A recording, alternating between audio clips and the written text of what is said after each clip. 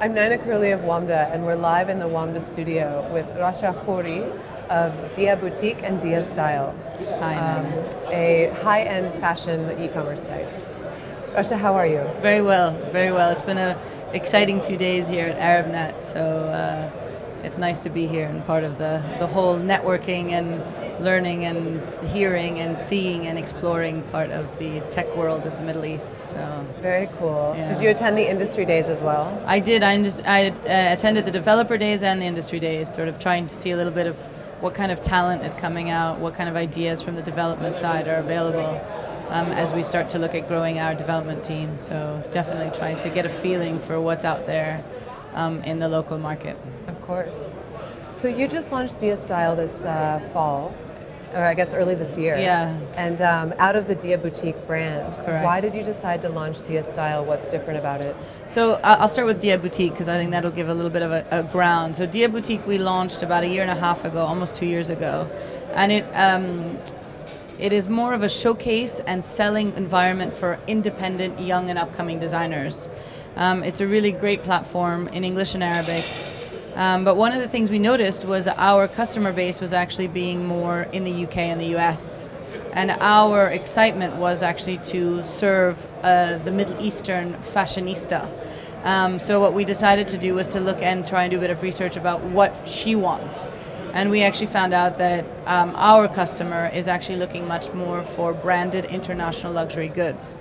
So what we ended up doing was this uh, this uh, winter was launching Dia Style, and Dia Style is available in English and Arabic, and it is a luxury shopping and community platform for the Middle Eastern woman and fashionista. So, how did you bring those brands to the Middle East? Can you talk about how you cultivated the partnerships? Yeah. What did you do to localize? What we've done is actually we're working with some of the, we've selected actually some of the best e-tailers online already available in Europe and the US. So we work with retailers like uh, Net-a-Porter, we're working with Selfridges, we're now about to add Saks.com, Saks Fifth Avenue. So we're really working with a select group of retailers that we know are already well established and well recognized, already deliver um, a great service to the market here. So that's how we selected those partners. Um, and then the big sort of added value is that we've actually translated all of these products into Arabic. So it's the first time that now uh, a customer can go online and search for Christian Louboutin in Arabic or Prada in Arabic, and we have something like 600 designers translated into Arabic off of around 50,000 products in English. So it's a very big database of products that are on trend, on season. Um, some of them are even exclusives that are now available into the Middle Eastern market, which wouldn't be available in the malls and offline. Have you seen any other e-commerce sites follow that trend and use your your dictionary of Arabic terms for high-end fashion items? Uh, not yet. Um, I think that it's still a bit too early to see that happen because there's a lot of um, being able to access that product, which will take a bit of time. Maybe it- what will happen is it'll happen more on a content perspective before it happens on an e-commerce perspective. But um, I think once we have more people using those terms, it's actually going to be a, a good thing because that means that the ability to search, the awareness of those search terms, the awareness of the that knowledge of product in Arabic becomes even wider, and therefore the accessibility to the Arabic customer online becomes even greater. So. Um, I think it will sort of take a little bit of time, but as we've been hearing at this conference, content in Arabic is still very uh, limited, and therefore, the more we start to see it online, the more it will increase the online capability on that. So, Yeah. Well, you might be opening doors. hopefully, in the in the world of fashion, we hope so. Luxury fashion, we hope so. So. Yeah. And so, who have you seen the growth since you launched, and who are you targeting exactly? So we've actually had some really exciting growth. Um, we just launched a few weeks ago, and the numbers are really way beyond our expectations. Um, we've been very quiet because we were sort of just trying to test and see where our interests would come from. But really interestingly, it's been um, the three major markets have been Egypt, Saudi, and Lebanon. Um, and most of it has actually been natural growth. We've sort of only been socially media active, but not very financially marketing active. So it's been quite interesting to see the natural growth that we've been able to grow over the last few weeks since we launched.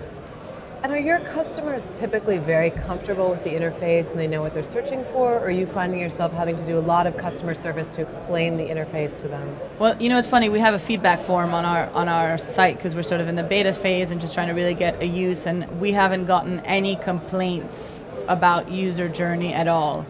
Um, at one point, we had a little problem about um, something small, which we've now fixed, and we get a little bit of feedback now back and forth. But really, in general, it's I think the use of the site because it's very clear, it's very clean.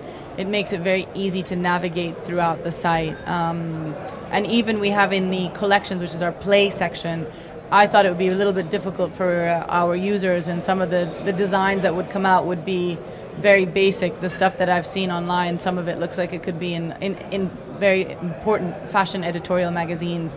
So it's quite nice to actually know that our customer seems to be very comfortable in a shopping community uh, website like ours.